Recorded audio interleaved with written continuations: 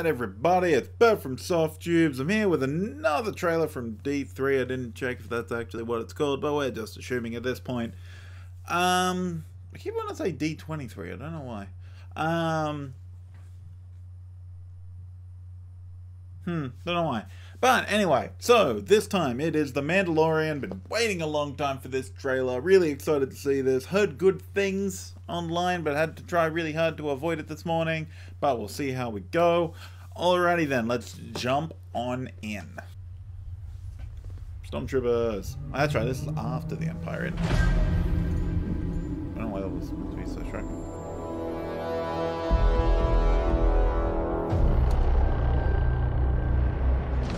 Brutal.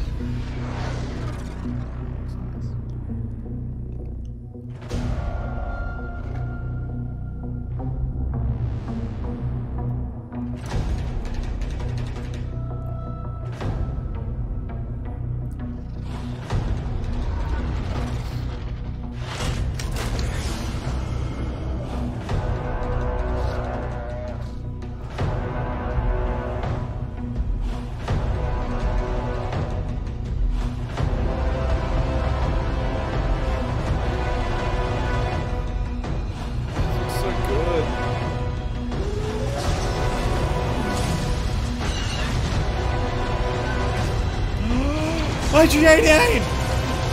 Yes! Yes! Fucking love Bounty IG-88. hunting is a complicated profession.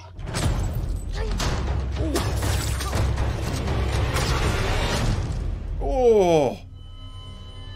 Hey! I think it's called the Don't Kryptonite agree? Cup now.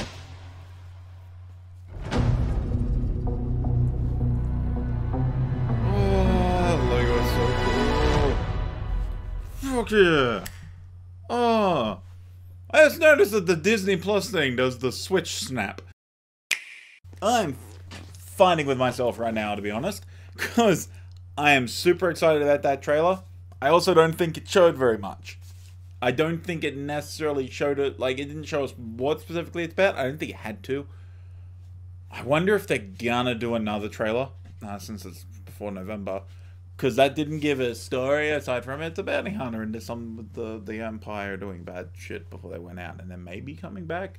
It's it's unclear whether any of the Empire. I, I feel like there might be remnants of the Empire or something, but a lot of that stuff could also be before. But there's so much IG88 in it. I actually think I read that and I'm. Hang on. I think it's Taika Waititi that does the voice now I think about it because I remember reading that. If it's Taika Waititi doing the voice and I'm right, oh, uh, I'm pretty sure that's what I read. I could be wrong though, but I'm so keen. Oh man. Oh man, this is the thing. I am not a massive Star Wars fan. Like, I like Star Wars. I enjoy watching Star Wars. But I'm not like, I know people that are way, way more into Star Wars than I am. Um, and I know like a lot of them do have mixed feelings at the very least about the Disney stuff. They, to like pretty much, I don't know anyone necessarily who's like super or talks about being super into Star Wars and thinks of themselves as being super into Star Wars that particularly overly enjoys the Disney stuff so far. But I do know a lot that are like, ah, and then go. That was almost like a Chewbacca. I do know a lot that are like, ah, and then goes down to downright um, uh, hating it, essentially loathing uh, might be a better word. Um, but yeah, I, I'm not super in it, but there's stuff I really, really like from Star Wars. Uh, there's certain elements I like, like even the old stuff. There's things I like and things I don't like, and then going all the way through. There's things I like, things I don't like. Um, there's just certain things that I gravitate towards that I don't necessarily like in other stuff. Like I did not. Oh, I nearly on. I think I sort of did. Um, I did not hate um, Last Jedi. I actually quite enjoyed Last Jedi. I'm one of those people. Uh, but I enjoyed it as a film, not necessarily a Star Wars film. I think there's two issues for me with it as a Star Wars film. The first being that it does go against what sort some things that are established, but I, which I don't think is necessarily bad. I don't think because I don't think it breaks any rules of Star Wars. I think it twists some or redefines some in some ways, but doesn't break them as such.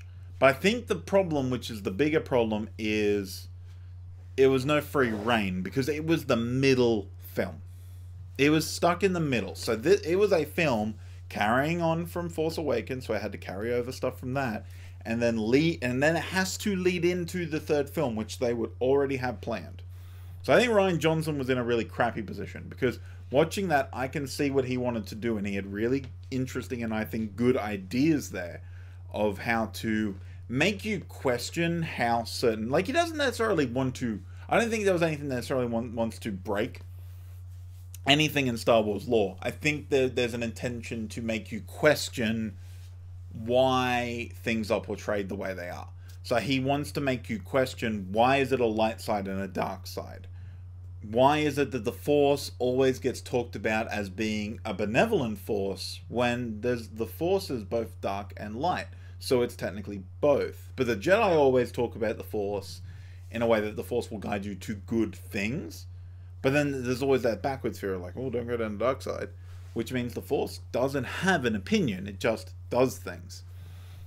And so, it, it, there's a lot of this questioning going on in that film that I think is really interesting. But the problem is, it's carrying on for something and it has to lead into something. So a lot of those questions don't really get to go anywhere. They sort of pop up suddenly, and then don't get to go anywhere and you, there's like stuff at the end where I feel like his ending, if he got to choose it, and I could be wrong, I'm reading into it a lot, but I think his ending was Kylo suggests they break the cycle to Rey. He's like, let's break the entire cycle, and she agrees with him, and they go off, and they reject both the uh, First Order and the Rebellion.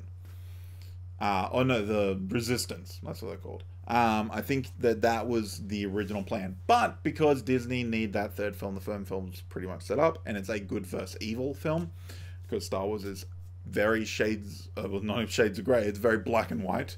Um, with occasionally it tries to inject shades of grey, but it's a very difficult thing to do when they keep on pushing the idea of black and white. I think that's what, like, I think George Lucas did a lot too, injecting the idea that maybe the black and white thing isn't perfect, as it's implied at times in the original trilogy. I think the prequels were actually intended to show fully believing that your system is right is inherently flawed. The Jedi created more problems by doing that, but I don't know if that ever got explored enough. Um, and I think, yeah, so that's always sort of there, but it's still very much good versus evil. It's very Tolkien esque, where there might be characters that aren't necessarily one or the other, but ultimately it comes down to there are bad guys, we must stop the bad guys. Kind of forgot where I was going with this. uh, but yeah, so. And I think Last Jedi was trying to do that, and that if it got to go the way it wanted, it would have rejected that good and evil cycle entirely and had the two those two characters go off to be basically Grey Jedi and try to bring the Force by either like pretty much pr- knocking them both down because the idea is that it, good and evil always creates a cycle. Even when one beats the other, the other will eventually come back and knock them down, and then just repeats. So you need to break that cycle. The Mandalorian for me here, from what I'm saying, is in a sense breaking that circle. In terms of it's not showing it's it's showing a dirtier underbelly, but we have a main character who's our protagonist, so and I don't think they're gonna make him a scumbag, or at least not a total scumbag. I'm expecting don't know if he's got a name, but the Mandalorian is going to um, Pedro Pascal is going to be basically a, a Han Solo in terms of um, uh, alignment if you're going for a D&D approach. Uh, it's mostly coming to my head because I played it last night. Uh, but that's why I think they're going to go with it. And it would make sense for them to go that way, I feel. But it's, uh, yeah, it's not a bad idea. And I think this sort of, hopefully it's not, I, I get the worry. It's weird. People that I know who uh, don't really like the Disney stuff do really like Rogue One I want to watch Rogue One again because, in retrospect, I watched it twice. I fell asleep the first time. I was pretty tired that night, though. I watched it again. I enjoyed it. But I do have a feeling it's not actually a good film. I think, in a way, it's an it's the opposite of Last Jedi. Um, it's Last Jedi is a well-made, well-structured film that doesn't really work as a Star Wars film Rogue One is a badly structured, badly made film that works really well as a Star Wars film. Um, so I, ha- I have a feeling it's kind of like that because there's a lot of stuff about it. Like the only stuff that's memorable, really, is the final sequence, the final big fight stuff. Everything else is pretty much inconsequential, and that's an issue. And I'm a little worried the Mandalorian sort of taken after the tone of that which isn't necessarily bad though, because as long as it's not structurally the same, that'll be fine. I'm in. I'm really interested to know what the plot is going to be here, and how bounty hunters are going to play in. Like I'm really excited about the fact I literally just realized then that this means IG-88 survived the fall of the Empire, but I don't know what his role is. I wonder if they're going to go. For, I don't know if, what it was in. I'm pretty sure it's in one of the games and it might be put in the shows at some point or something of IG88 is a bounty hunter, but only because he's trying to start a droid revolution. I don't know what it's from. I know I've seen it and stuff before.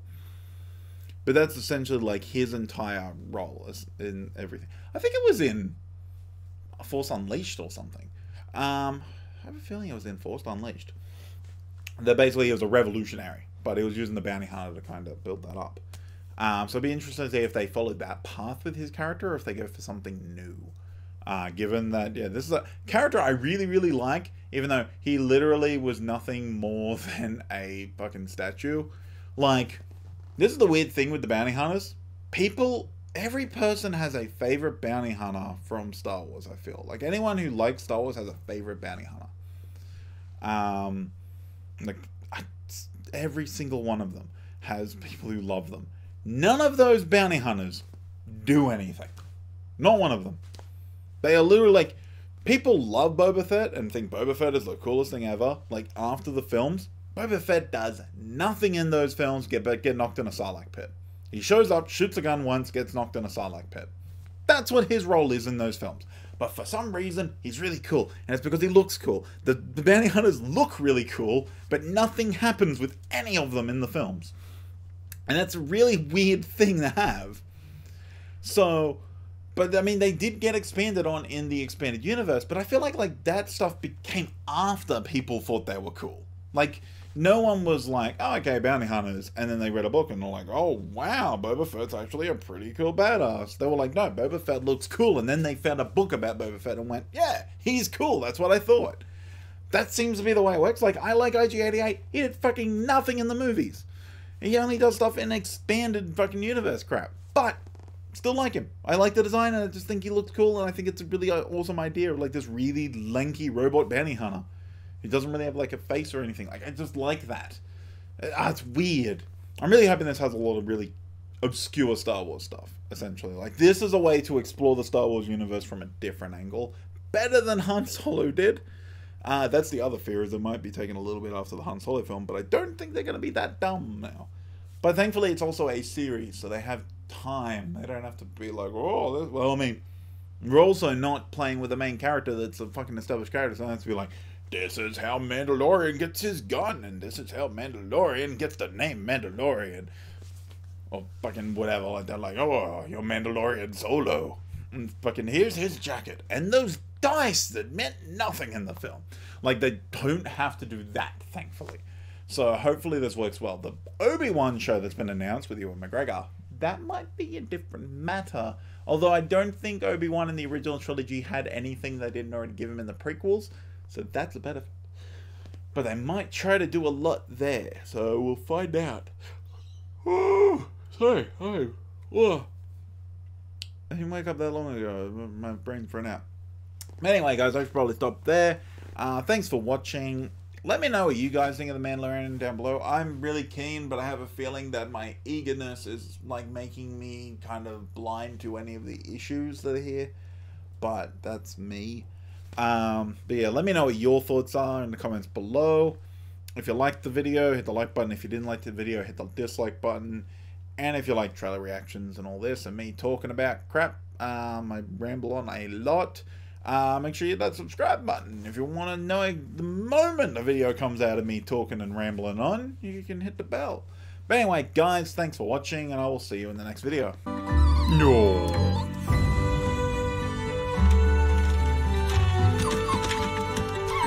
Let me guess.